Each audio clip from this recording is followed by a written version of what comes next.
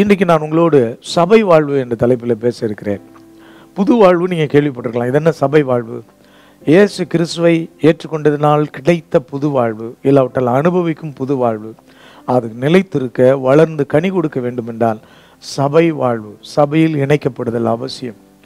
சபையில் இணைக்கப்படுதல் என்பதை தவறாக புரிந்து கொண்டு இன்றைக்கு அநேகர் பேசினாலும் சுவிசேஷ ஊழியம் செய்கிறவங்க நல்லா புரிந்து கொள்ளுங்கள் உங்கள் ஆத்மா வீணாகாமல் நீங்கள் ஆத்மாதயம் செய்த ஆத்மாக்கள் வீணாகாமல் கனி கொடுக்கும் நிலை வரை எட்ட வேண்டும் என்று சொன்னால் அவர்களை சபையை அழைத்து வர வேண்டும்.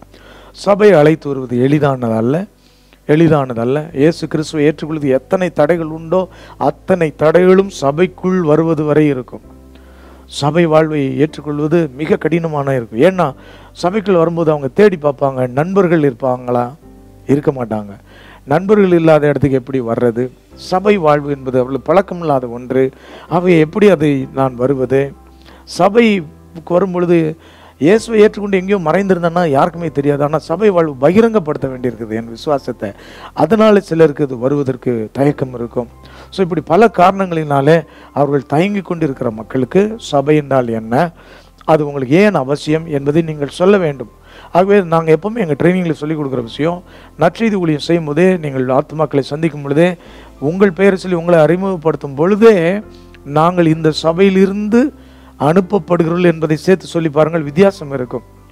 என்னென்றால் சபை குறித்து உலகம் தவறான திசையில் நினைக்கிறது? வியாபார ஸ்தலமாக வியாபாரம் பண்ணும் இடமாக நினைக்கிறது. அவர்கள் அப்படிதான் நினைப்பார்கள். அவர்கள் அப்படிதான் நினைப்பார்கள். ஏசு கிறிஸ்து கள்ளர் கொய்யாக்கினர்களே எருசலேம் சபையை சொன்னாருங்க அப்படின்னு சொல்லி சில சீர்திருத்தக்காரங்க அப்படி கிறிஸ்துவர்களையும் சில சொல்கிறாங்க சபையெல்லாம் இப்படி இருக்குன்னு சொல்லி. ஒன்று ரெண்டு சபைகள் தர சில தவறுகள் பொருளாதார பாவங்களை செய்கிறதுனால சபையை குறித்து கெட்ட எண்ணங்கள் உங்களுக்கு இருக்கக்கூடாது. ஏனென்றால் சபை யாரையும் ரட்சிக்காது.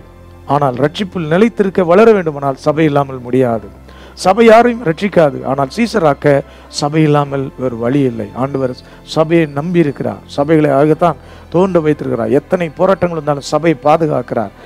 என் சபை நான் கட்டுவேன். பாதாளத்தின் வாசல் மேற்கொள்ள மாட்டாது என்று சொல்லி இன்விசிபிள் சர்ச்சுக்கு மாத்திரமல்ல இன்விசிபிள் சர்ச்சை வெளியரங்கப்படுத்துகிற ஸ்தல சபைகளுக்கும் அதே வாக்கு தத்துவத்தை ஆண்டவர் கொடுத்து வைத்து நடத்துகிறார். ஸோ நீங்கள் தைரியமாக நீங்கள் ஆத்மாதயம் செய்த சபை உங்கள் சபைக்கு கொண்டு வரணுன்ற லக்கோடு செய்யுங்க. அவங்கள கொண்டு வந்து கொண்டு வந்த நாளில் உங்கள் நண்பர்களிடத்தில் அறிமுகப்படுத்துங்க உங்கள் பாஸ்டர் இடத்துல அறிமுகப்படுத்துங்க. அவங்க வாழ்க்கையில் பெரிய மாற்றம் உண்டாகும்.